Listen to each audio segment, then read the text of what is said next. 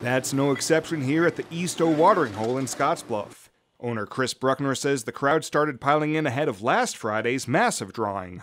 It was really busy, 10 to 15 people in line. So I'm guessing it would probably go to about 20 people in line waiting.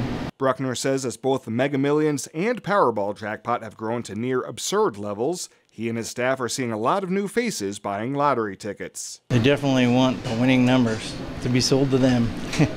the odds of matching all five white numbers plus the yellow Mega Millions ball are 1 in 302 million, and despite the long shot odds of winning that jackpot, the $2 ticket price is well worth the price to dream big.